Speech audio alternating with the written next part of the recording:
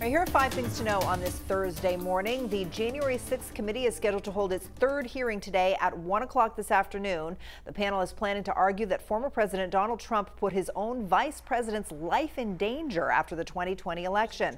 Several people close to uh, Vice President Pence are supposed to testify today, including his former lawyer and his former advisor. A five year old boy has died after drowning in a lake west of Millinocket. The Piscataquis County Sheriff says the boy was fishing off a dock at a cabin his family was renting when he fell in. The child's father got him out of the water and started CPR.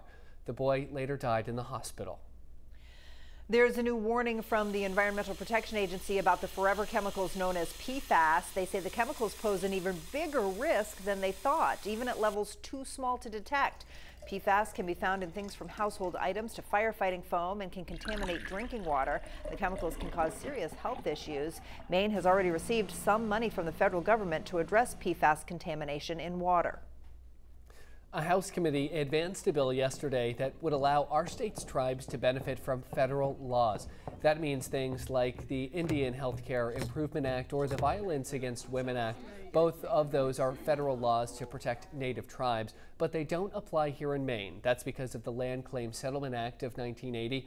If this bill moves forward, future federal laws meant to benefit Native tribes would apply here in Maine.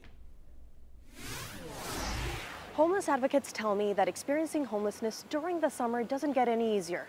There's violence, lack of resources, extreme heat, dehydration, and other threats. Preble Streets Homeless Voices for Justice is organizing an event all day tomorrow, Friday, to help raise awareness and educate people about this growing issue.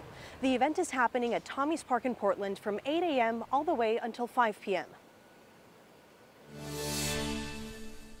Alrighty, here's the uh, seven day forecast. We're looking at some uh, pretty good weather again today. Partly sunny skies in the low 70s. Tomorrow, warm and sticky 80 with some storms around. They could be on the strong side in the afternoon.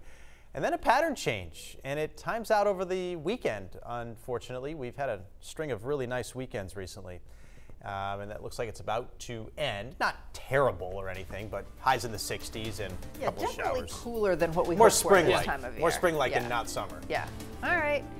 Get out and enjoy today. Sounds like today is going to be clutch. Have a good one, everybody. See you tomorrow.